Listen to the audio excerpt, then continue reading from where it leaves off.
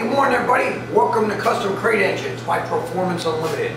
We happen to have a Borla stack injection LS3 on the dyno here this morning.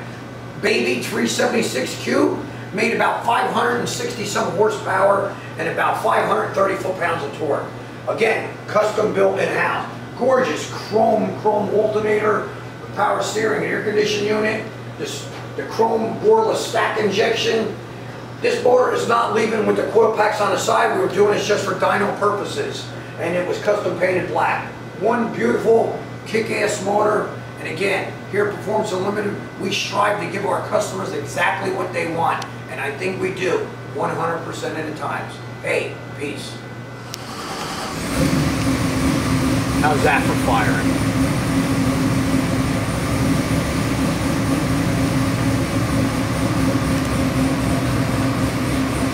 Let's give it a pull.